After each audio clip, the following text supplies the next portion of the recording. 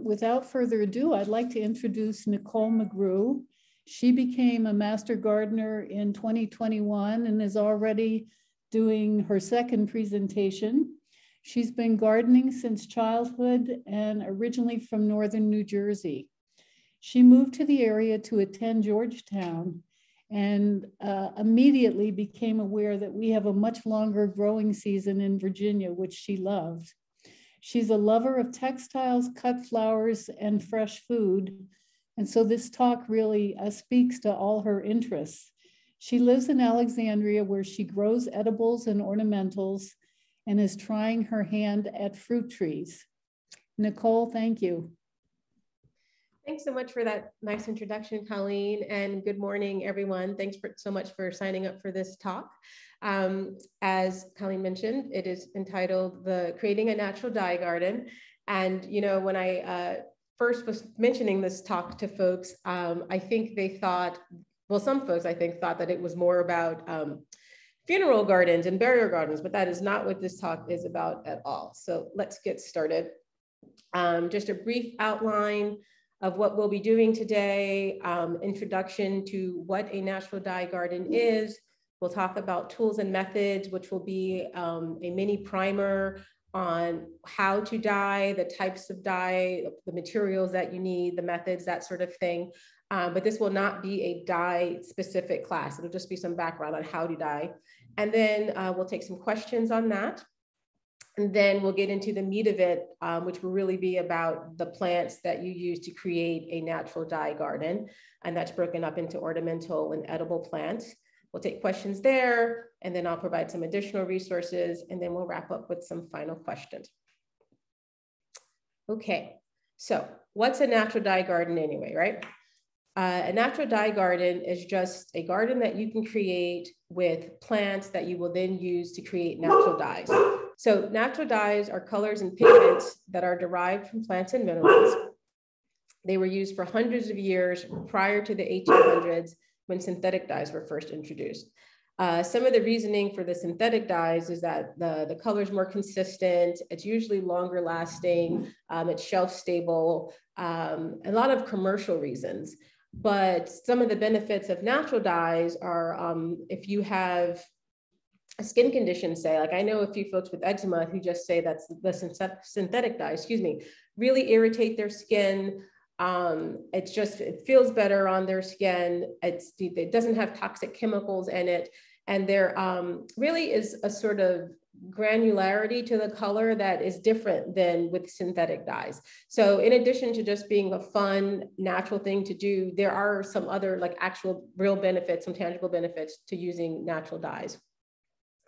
Now, certain plants like madder have been used for centuries because of their reliability. Madder, um, indigo, I think these are the ones that we know are more familiar with, and they've been used and have a consistently true hue that people have used for a long time.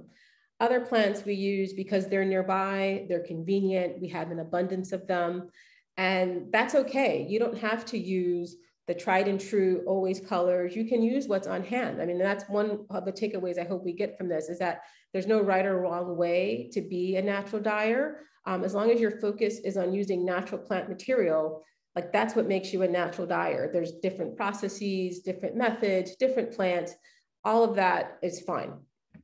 And so just when you're when you're building your natural dye garden think of it as your botanical palette. That's it. The, the plants that you have in your garden will be your palette for your dyes. Oh, and I should just say briefly here on the right, uh, this is uh, Dyer's Coreopsis, which we'll be talking a bit about later. Um, and just in terms of the variety with botanical dyes, you can get this range of colors from this one flower depending on how you process it. Okay, so what do you need for botanical dyeing? You need tools, you need a mordant, and you need plants. So let's talk a little bit about each of these things. So tools. I know this looks like a long list. Um, don't be scared of it. A lot of these things, um, I know a lot of us may have at our house already. You might have multiples of the glass jars, the mason jars. Um, and these jars, it's not like canning, they don't need to be sterilized, they just need to be clean. um, a mortar and a pestle to like to grind leaves or to grind powder, depending on what you're using. Stainless steel pot, um, which I will say uh, you should not use. If you're going to use a pot for dyeing, you shouldn't use it for cooking. Even if these are botanical and natural dyes, you should probably keep them separate. A clothesline to dry pieces outside, tongs to remove um, hot pieces out of a pot, a mesh strainer, depending on the material, say if you're using berries or something, you want to be able to get the pulp and the pieces out before you put the fabrics in. Uh, rubber gloves, a bucket, stainless steel bowls, cheesecloth or muslin, which is just really so that you have a finer type of strainer, wooden spoons, a scale and measuring spoons, a thermometer, um, you know, normally when you dye, it's at a very high temperature. I mean, high, like it's like boiling water, not, you know, furnace high. And, but depending on how intricate you are and how much you get into it, you might really want to control your heat and you need a thermometer just to make sure that you know what heat you're using. Uh, steel wool to clean up afterwards, a whisk uh, to mix some of the things before you create your dye bath, scissors and pruning shears to collect your plant material, paper bags uh, to store your plant material. Uh, that's one of the things we'll be talking about is that you don't necessarily need to use your flower and your plant pieces right away. You can cut them when it's the prime time to, um, to harvest them, but then not necessarily use them right away. And then twine, which has a thousand purposes that you can use for dyeing. So, I mean, it is a long list, but it's pretty basic materials. Um, the picture on the right shows some of the tools that I use. I mean, it's nothing fancy. I reuse a lot of jars that I have in the house already, regular old household, you know, rubber gloves, wooden spoons, twine, scissors. So, you know, nothing, nothing super fancy here.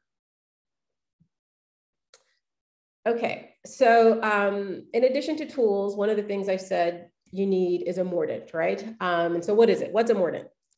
It comes from the French word mordir, which means to bite. And that's exactly what a mordant does. It bites into the fabric so that the color sticks to the fabric. It's, you know, there's a there's a word fastness, you know, color fastness. And the mordant helps the, the dye become color fast with the fabric so that it doesn't fade, it doesn't wash out, you get a true color that lasts. Uh, two rather common methods of mordanting are with alum, which is a metallic salt, and with oak galls. You can order both online. Um, you can also collect oak galls yourself, um, but do it later in the season because wasps like to live in them. Um, so you will want to do it in the fall if you're going to do that. Um, but you can you can order both of these online uh, pretty easily. And then I guess I should say, and with a mordant, typically you add it to the, so it's called a dye bath, which is you know, what you put your fabric in to get the color. And some mordants you add beforehand, before you set the fabric in, sometimes you add them in at the same time. Uh, there's a whole world of mordants um, and like the, what you can put in them. It can, you know, you can really run the gamut and it really can broaden the spectrum of color that you can use. Uh, but again, since we're not, we're focusing more on the plants than the dyeing process, I just wanted to make sure that we talked about what mordants are, gave you some two basic types of mordants um, so that you can get started right away. And then if you like it, you can get into the fancier things. So yes, and then what if you don't want to use mordants? because sometimes I know, like when I when they were first introduced to me, I thought, oh, do I do I want to add this other element? I have to get all these fancy things. Um, and so no, you don't have to use them. I mean, it does make the color richer and last longer. Uh, but if you just want to jump in first and see if you like it, you don't have to use them. And so one way to not use mordants and still use botanical dyes is with the bundling method, which you see here. So on the left, these are flowers that I collected. Uh, this is from a workshop I took about a year or so ago. And we have the purple is amaranth. They have a big sunflower in the middle. Uh, cosmos are the little orange little sprinkles there, and then eucalyptus on the sides. And so you, and this is just like a hmm, 20 by 20 white cotton bandana. And I rolled it up and then I tied it with twine. and then I just put it in a pot of hot water um, and let it sit. And so with this class, we were a bit uh, rushed for time near the end, so it couldn't sit as long as I liked in the hot water. I mean, that's one thing that really will control um, or truly determine the richness of the pigment when you're done is how long something can sit in heat.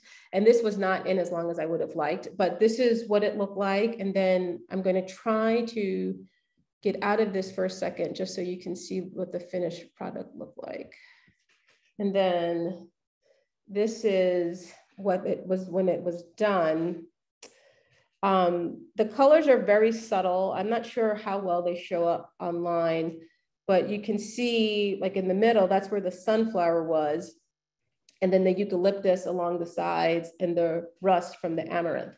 And so this was just from bundling, tying, you know, tying it up, soaking it in, in hot water with pressed flowers. And so this is like an easy way to kind of jump into botanical dyeing.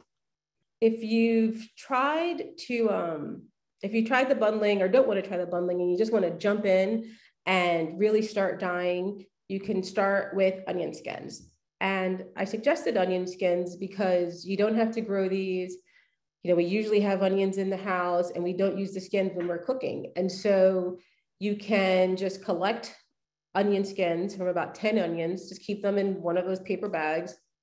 And then when you have enough, you can try this out. Um, and then just a couple of things to think about before you start. You know, don't be afraid to mess up. This is supposed to be fun it's a natural process. It's not, there's no hard and fast rules. And so just see what happens, you know? Uh, but when you do do it, you should use natural fabrics with natural dyes, hemp, linen, wool, cotton. Synthetics don't do well with natural dyes. They don't have the, the fiber structure is not porous enough to absorb the colors. Um, the natural fibers are, they will let, they will allow the colors to seep in and saturate the textile. And they need to be clean as well. So um, there's a term called scouring fabric, which is really like scrubbing it and getting it ready. It's akin to like sanding wood before you start painting. Um, you don't necessarily need to do that, uh, but just make sure it's clean um, and, and a natural fiber. Uh, use a separate pot. Like I said before, if you're going to use something for dyeing, um, do not bring it back to the kitchen and use it for kitchen for cooking, excuse me. And then you just start with onion skins. So you fill your pot with water. Um, I have a big pot that's about 11 and a half by 10 and a half. I mean, this is something, I don't know how well you can see it, but it's something like this size, like a big stock pot. Uh, so you fill it with water, add about, add the skins of about 10 onions. And this is, um, you can use yellow onions or red onions, but this is the size I'm talking about is like a medium sized onion um, water, boil the water with the skins. And then you'll see a pattern here. Usually the longer something sits in heat, the richer the color. So you just watch it till it reaches the color that you'd like, strain out the skins, and then you can add um, the one tablespoon of aluminum sulfate. Wet your garment before you put it in. That's another big thing. Don't just dump a dry garment into a dye vat. It, it always has to be wet um, before you put it in. I'm not really sure why, but I know it needs to be wet before you put it in.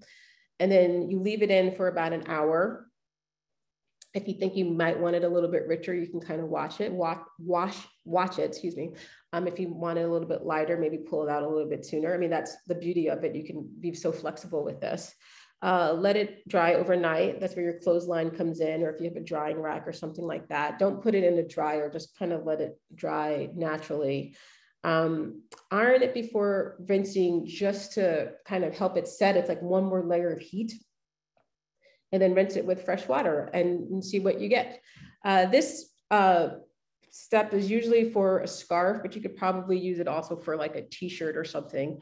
If you wanted something bigger than that, you might need um, additional onion skins. Um, the number the volume of plant material you need will change with the size of the textile that you're trying to dye. Uh, again, that's one of those kind of trial and error play around things to see um, how much you need for something. But um, but yeah, but that's a that's an easy dye project project, excuse me, to start with. is onion skins. Okay, so let's see if we have um, any questions on, on this part. Um, yes, Nicole, there's just uh, one question whether you can use silk or raw silk as a fabric for dyeing. Oh, yes, you can. You know, I only didn't mention them because they're more, they're typically more expensive. And for folks beginning, they might not want to use silks. Um, but both of them are fantastic uh, materials for dyeing. Um, I find raw silk to be a bit more receptive to color. Um, it just seems more open. Uh, I mean, I guess it goes back to like the porosity of the fabric, uh, but and the colors seem a bit richer, but definitely you can use um, either of those for natural dyes. Yeah. Okay, and another question, where do you get the aluminum sulfate? Oh, well, there's different um, craft websites where you can you can get them. You can get stuff from Etsy. There's a lot of suppliers there, um, but neither of them are hard to find. Okay, that's good on the questions. Oh, okay, great. Okay, so now I guess let's get to the heart of it, which is uh, what plant should I plant for my dye garden, right? And then because so much of this is based on your personal preference, uh, what is what grows easily around you, what colors you like. The short answer is whatever you like, right? Uh, but the long answer is here are some good ones to try. Here are some uh, suggested plants that do very well, um, that grow well here, and uh, are reliable color providers. So uh, first ones are, so again, I divided this into ornamental and edibles. And so the first round from the edible side are cosmos, uh, sunflower, and amaranth. And the way I have this broken up, it's the plant, it's the color that you can get from that plant, and then it's the part of the plant that you need for the dye. So cosmos, you know, they, they come in a range of color. And that means that if you use them for dye, you can get a range of color just depending on the, the color of the, of the plant material. And for cosmos, you take the petals and you create a dye bath with the petals, which is just putting the petals in hot water and, and steeping them essentially like with the onion skins. That's creating the dye bath. With sunflowers, uh, the, you usually get green and you take the heads and you can just like lob off the head and just take that whole thing. Uh, there is a specific sunflower called the Hopi sunflower, where if you use the seeds, you get a really nice, rich black and uh, it's a nice consistent black. Um, but as far as I can tell, it's only with the Hopi sunflower that you can do that. And then amaranth is another color that you can use. Um, you'll get magenta. It's very true to um, the flower head that you see here on the bottom in the middle. And, you know, it's a combination of the petals. They, they, um, they fall off really easily when you're handling them anyway. And so they kind of just will like fall fall out. Um, if you noticed a few slides back with the bandana, they're just kind of scattered all over the place. And this picture here on the bottom right, that is um, a basket that I put together. That's the basket actually I put together when I was making um, this bandana here. So you can see the, there's actually some yarrow in there as well. You can see the amaranth, uh, the yarrow, um, and um, you can just get a range from, from these different colors. Some other ornamentals to try are Dyer's Coreopsis um, and Rudbeckia. Uh, Dyer's Coreopsis, and it's also threadleaf Coreopsis. You get an ochre, that's like the, the, the most common color that you will get from it. And you use the flowers. And same thing with uh, Rudbeckia, you'll get like a putty brown and you use the flowers. And what's really great about using these two is that they're native here and they're pollinators, right? And so you get this sort of win-win setup where it's a pollinator garden, but it's also a dye garden. And you, since you cut the flowers to use them, it's almost akin to deadheading. I mean, you don't wait till the flowers are really that far gone. So it's a little bit earlier than when you would traditionally deadhead, but you are encouraging more blooms by cutting the flowers.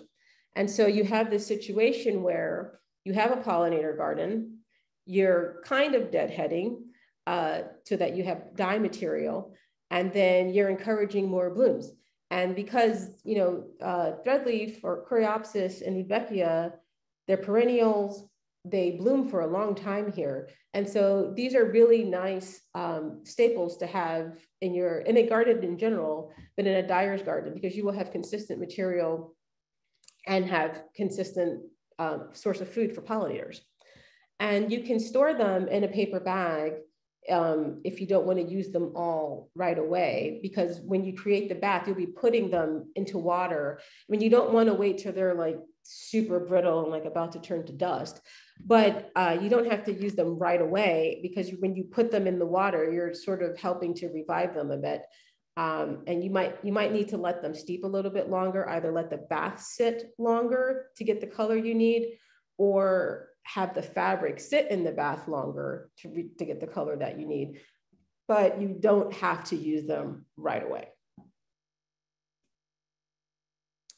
Some other ornamental flowers that you can use are dahlias. Um, the dahlias on the left, I just, they're actually from a store bouquet, but then I use them afterwards for something um, or marigolds. Uh, these are from my garden. And, um, you know, marigolds grow very easily here as well. And you can do a lot with marigolds. They really have a range depending on the mordant that you use. Um, but in traditional, it's, it's like a nice rich yellow. You use the flower heads, um, same with the dahlias. It really ranges because dahlias range, right? I mean, they range in terms of color, they range in terms of the size of the petal, the size of the flower head. Um, and so it really ranges just from yellow to plum, depending on what you're using with it. And then just one little side note, and I have to admit, I've never tried this, but I've read about it in a few different places um, with ivy. I mean, you can make green with ivy, which makes sense um, because it's so green, um, from the leaves and the berries. And I know for a lot of us, it's really like the bane of our existence, and we're always trying to get rid of it. So this could be one way to get rid of it um, is to create huge vats of dye, of dye with it and have all sorts of green textiles floating around. And then indigo. I wanted to, I pulled indigo out in particular because it's one of those colors that I think, and one of those plants that a lot of us know about. Um, we know it for the indigo hue, um, that, I mean, it, it's so synonymous with it that, I mean, the, the, plant and the color have the same name, right?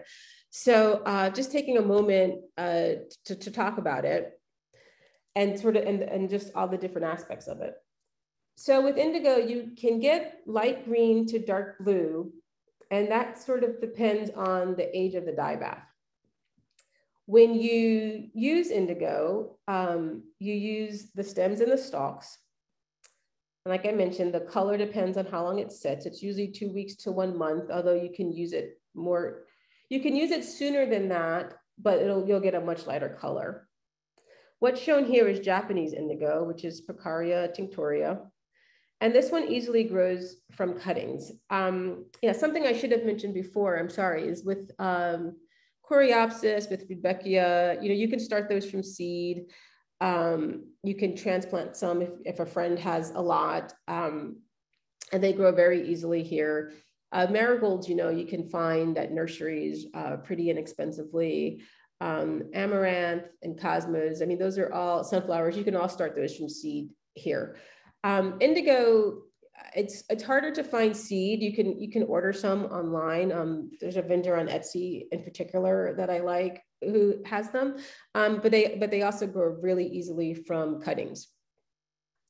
One other thing with indigo though is that it's a um, it's an assertive plant. I guess that's the right word. It's not aggressive like mint say. It's not going to like take over a bed, but it, but it is assertive, and so it's just something to think about if you're going to plant it in your garden. You might want to put it in its own container. Um, to, to keep it from spreading too much or plant it with something that you know can hold its own against it. Um, I think if you had a number of um, uh, Rudbeckia plants there, um, or even, you know, Coreopsis is a pretty hardy grower too. They, they could probably blend together in a bed, um, but it can be just a bit of a grower. And then uh, one other thing to mention too with uh, the, the dye bath and um, keeping it. Uh, this you would keep in um, like a plastic, like a painter's bucket, um, like one you get from Ace or something for $5 or like the ones we use just for gardening as well. And just have it sit somewhere, you know, for two weeks to one month. If, if you have a garage or a basement or something, um, cover it just so that no one gets into it or you don't knock it over. And um, that's how I would store it before I was ready, ready to use it. Um, but it's really fascinating in what you can do with it. Uh, these pictures here, this is from another class that I took that was specific to indigo. And um, what you see on the right are um, pieces that the instructor brought with her. And I actually, I have something that I made from that class too. I'm gonna have to uh, switch screens again. Uh, so let's see. Okay. And so this one, so this is another, it was started out as just a white bandana that was dyed in indigo. You can see where the white marks are. That was, um, I tied knots and the knots were to keep the dye from hitting those spaces. And so there's like this pattern throughout of just the blue and then the white where um, it was tied. And this was, I put this in a bath and then um, had it sit and then dry, followed all the steps, line dry, etc., in the sun. And, that, and that's how we did that.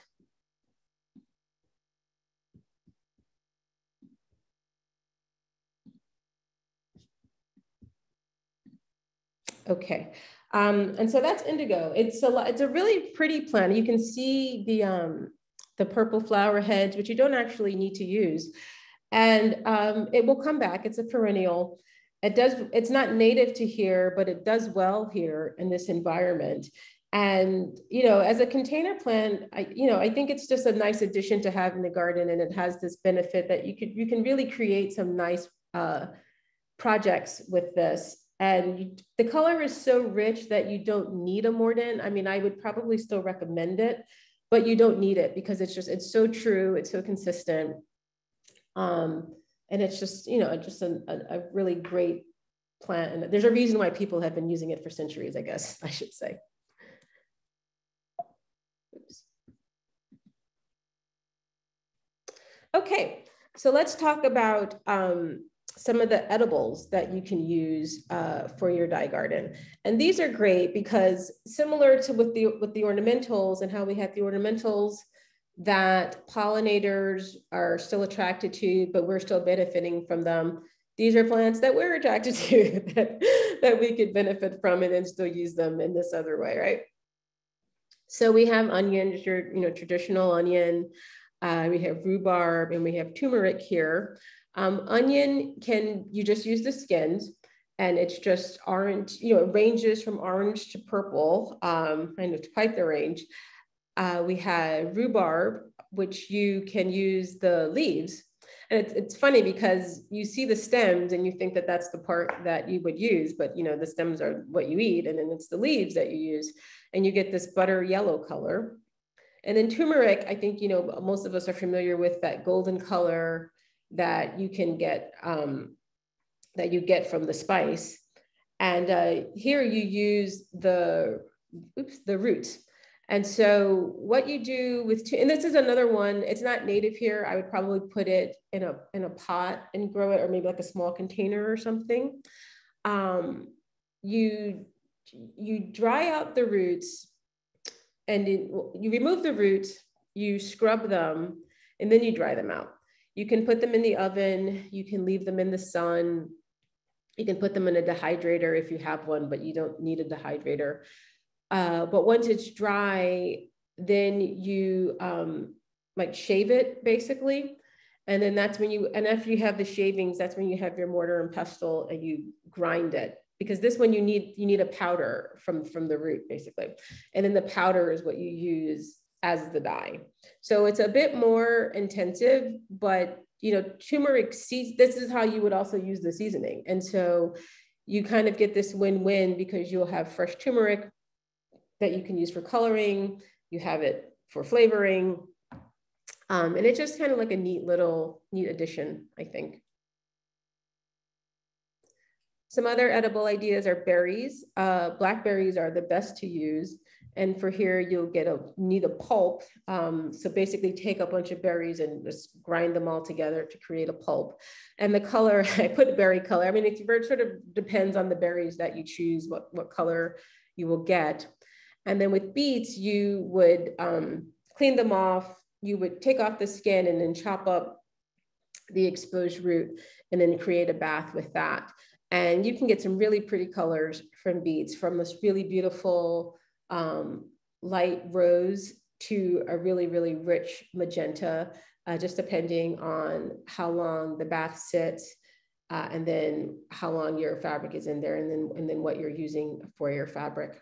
And then other edible ideas are carrots. Um, you'll get yellow and you use the plant tops and then you have the um, these red onions here, which you get yellow to green, and like with regular or you know yellow onions or sweet onions, you use the skins. And you can get, I mean, the tops are these are carrots I grew last year, and um, you know, there's just there's so much plant material in the top, so it's fun to be able to use them for something else. Uh, and then I wanted to take a minute to talk about madder as well. Uh, this is in the coffee family, which is why I included it under edibles, although I don't think any of us are eating this anytime soon. Um, this is not native here, uh, but it does, it can grow here in this, in, in our zone, and it's a perennial. You can start it from seed indoors and plant it outside. Um, and it, it just, but it takes a while. That's the thing with madder So it gives you this very traditional uh, red color. Uh, you can, it runs the range as you can see here from these really soft sort of mauve colors to like this deep russet, right? And the color comes from the roots. And it's been, it's a consistent, it's like indigo. It's one of those colors that's consistently been used. It's been used for centuries. But unlike indigo, you have to use the roots and it takes longer to set up. The roots have to be at least two years old um, before you can start harvesting them for dye. Um, and so it's just something to keep in mind if you're going to plant it, that this takes a longer period before you can use it.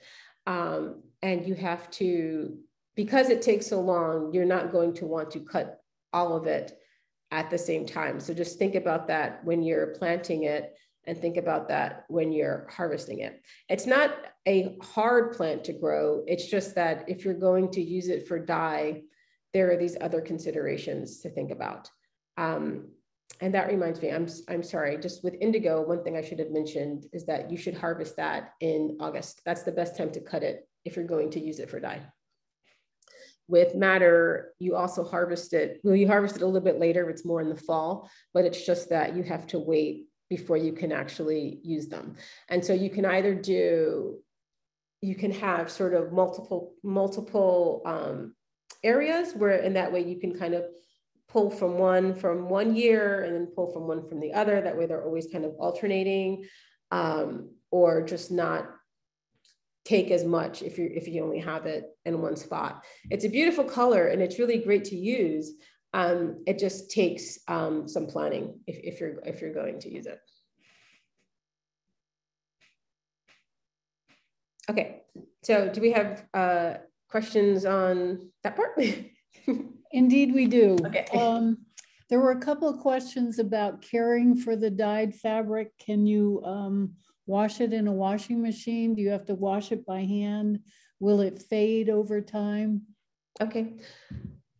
So I, I think in part it depends on what what color you use. I think the safest answer is that the first time I washed, the first time I washed, I would wash something that's been dyed this way, I would probably wash it by hand.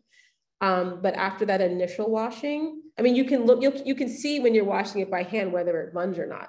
And so that'll let you know if it's safe to wash in the machine afterwards. Um, but I, I think to be safe, I would wash them by hand the first time and, and take it from there. And I, what about, does it fade over time? Sure. Well, that's part of the reason that you use the mordant. Um, and so if you use a mordant and have the color really set properly, then it shouldn't fade any differently than other fabrics fade. I mean, most fabrics fade over time. So it should have the same rate of fade as anything else. If you don't use a mordant, then there probably will be some fading, but it won't disappear. It just might not be as vivid as the initial initial appearance immediately post dying. Okay. Um, there was a question about, uh, do you have any guidance on how to get sort of different patterns in the fabric? Or Oh, are there sure. places for someone to look? Oh, yes. So in the next section, I actually have some books um, and websites that go into that in more detail. But um, depends on what you're uh, what you're making, um, wh- how you would do the pattern. So like things that are really simple, like bandanas and t-shirts, you can do ties. You can take um, if you can't tie it in a knot, you can take uh, clips or rubber bands to like block off those fabrics. You can do things like um, you know, if you take Osage oranges, that's another thing. That's another locally available native plant. But I mean, we don't plant Osage orange trees here, which is why I didn't have it as part of the garden, but they're available. So you can take the fruit of an Osage orange and kind of like block print with them. Oh, Um, and so that's another thing you can do, or you can create block prints with, if you have a dye bath and you can take block prints and, and do those on your fabric. So there's, there's lots of different things. Um, and I think the resources that I show in the next section will, will provide more ideas um, for the questioner. oh, great, thank you. Um, there was a question about whether you can use native or false indigo instead of the Japanese indigo. Uh, you won't get you won't get the the color, um, which I think is why it's called false indigo. Um, you you should really use Japanese indigo for it.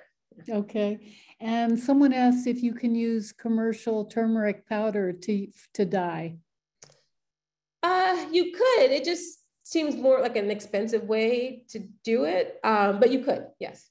Okay, and someone else commented they thought that uh, salt was used to help in the dyeing process sometimes to prevent fading or, Yes, that's That- true. You can Okay. use, so yeah, there's all sorts of things that you can use as mordants. I mean, it really is like a whole sort of rabbit hole that you can go down. You can use vinegar, like um, for the beets that I showed, you can use beets as a more, excuse me, you can use vinegar as a mordant for beets.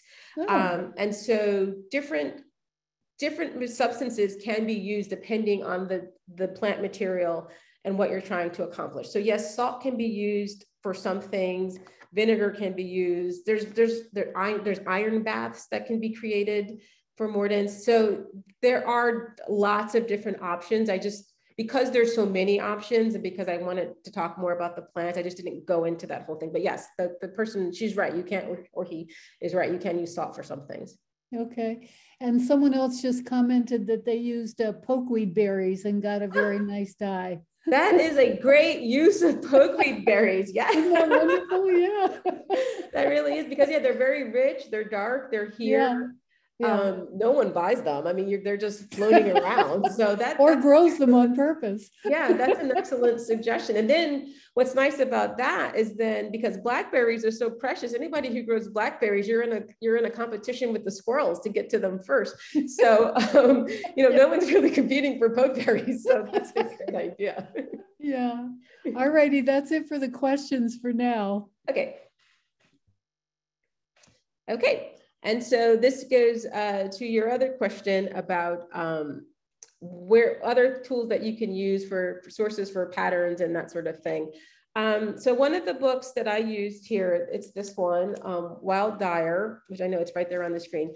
This one is great because it has a lot of information on starting the plants and like actually building a garden as well as project projects, excuse me.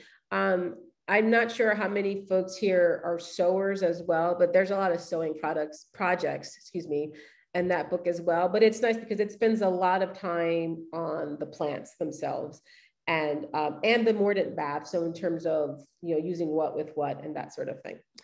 Another helpful book is Botanical Inks. This one, this one really gets into the mordant bath discussion. So if you want to talk about, you know, salt or iron, vinegar, um, all these different types of baths that you can create. Uh, this one goes into a lot of detail about um, the dyeing process itself. It doesn't really talk about the plants. It just talks about the dyes and how to use them and how to create things. And then this third one here, fiber shed, and this is something I didn't talk about too much in, in here, but I'll, I'll mention it now. This one talks more about plant fibers and textiles more broadly. So there's a conversation about dyeing, but it's more a conversation about the underlying fabrics than the natural fabrics that we're talking about. And so, you know, one of the things I'm growing in addition to the plants that we talked about is flax. I have, you know, little flax seedlings right here growing. Um, they have a beautiful blue flower um, and you use flax to make linen. I'm not weaving linen. I'm not, you know, that crazy. Um, but but it's an interesting discussion about thinking about where a complete garment comes from and thinking about the plant fibers that go into it for, for the actual textile, as well as the plant fabrics that go into it for the dye. And how can we think about creating fabrics that are made wholly within a certain footprint? So similar to the idea of a watershed and a watershed being this one type of ecological space, how can we think about a fiber shed and our our textiles and creating them in this sort of one ecological space. And so there's one here, the one in Virginia is called the Chesapeake Fiber Shed, um, but it's really focused on growing dyes and growing textiles that are within, basically within the state of Virginia. Um, so I think it's pretty cool. But um, so these all have lot, different aspects of information depending on what you're interested in. If you're interested in the garden aspect mostly, then Wild Dyer is great if you're interested in the ink process specifically and like the, the different dyeing processes and methods, then botanical inks is great. And if you're interested in the like textiles more broadly along with dyeing, then Fibershed is great. And then this is specific to indigo. This is a, this is these are more pictures from the workshop I took um, last year. You can see Rosa's hand here with all the dye and she's holding this amaranth. Um, so Rosa Chang is um, at MICA and she has these two different websites, the Indigo Shade Map and the Rosaful Garden. Uh, indigo Shade Map is all about indigo um, and is a great resource about the different shades, uh, the ages of the dye baths, all the different things you can do with indigo. You can see here, these are all pieces that she created with different patterns. Um, she's just a really skilled artist. And so that it's just great to see all the different things you can do there. And then on the right, this is this is a combination of plants. This is the um, bundling pieces, but you can also see just some of the tools that she has here has here as well, like the painter's bucket on the bottom, the pot. You can see she has some dry dyes that she uses as well. And so just seeing that, you know, again, none of this is really fancy um, stuff. A lot of it is, is tools that are pretty easily accessible. And it's really just a matter of, you know, diving in and having fun with it. Um, one, I know someone else asked about silk earlier. The scarf that's being dyed here is actually a silk scarf. Um, I don't have a picture of the final product, but I do know that it's silk. And so yes, I mean, you definitely can use silk with these natural dyes. And this actually, this was a bundling project so this one didn't even use a mordant. It's just the flowers tied up together and put into basically a bath of hot water to sit. And then um, this is some, this is a group from the UK. And, you know, I know that we don't grow necessarily the same things as they do in the UK, but some, there is some overlap. And I do think that for dye garden, not all of it, um, it's always going to be a mix of natives. And I, you know, hopefully it's predominantly native, but, you know, like indigo is not native here. So you might have a mix of different plants. Um, and this site I thought was really cool because they um, show you different colors from different things and also on different fabrics. And so if you use marigold, say, uh, even if it's prepared the same way, it's going to look different on linen versus cotton versus silk versus hemp. Um, and so I thought that this guide was just another neat way for people to see what the different things are. And then I also thought this one was helpful. I mean, all of the books have pictures of the plants, but sometimes if you're trying, if you're just outside and you're trying to figure out what to use, I, I thought that this see this this site was uh, was helpful. Were there questions, Colleen, on um, more of the techniques and guides through this section? Um, someone had commented on whether there were differences when you dye yarn, if there Oh. was anything to comment on, and then you showed these beautiful pictures of yarn. sure. Yes. So I don't know um, if you want to expand on that at all, or, Yes, yeah, you can definitely, I mean, wool is, it's considered another natural fiber and wool is definitely porous enough to take in color. I've never dyed wool myself, but I know that it's, it's, it's one of the easier ones to do because it's so absorbent. Um, and so if you have access to just plain undyed wool and want to have fun with it, you can definitely do so many things with it. Yes, as you can see, as you can see here, it's a really, it's a really fun fabric. I um, I can I can sew, but I'm not a good knitter, so I don't I don't have a lot of yarn experience. Um, but yes, you can definitely dye with yarn, and you can, you know, wool probably is the easiest to work with in terms of dyeing. But you know, I know that there is silk yarn, there's cotton yarn. Um, you know, yarn comes in all sorts of of textiles itself.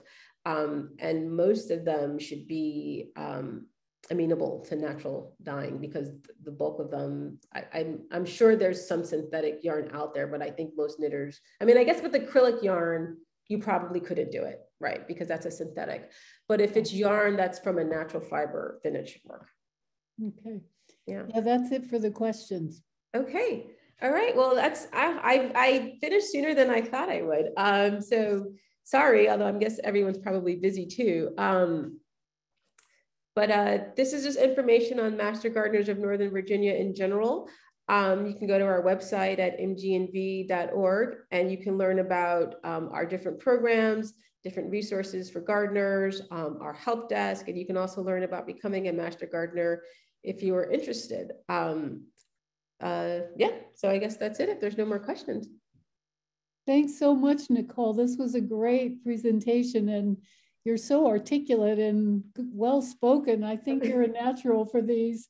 well, thank you so much, Colleen. and thank you. Uh, and uh, thanks. And have a great then weekend, everyone. Tell you, someone commented on the Navajo uh, dyeing and demonstrating which plants uh, they come from because uh, Nicole and I had had an exchange about that. But anyway, thank you.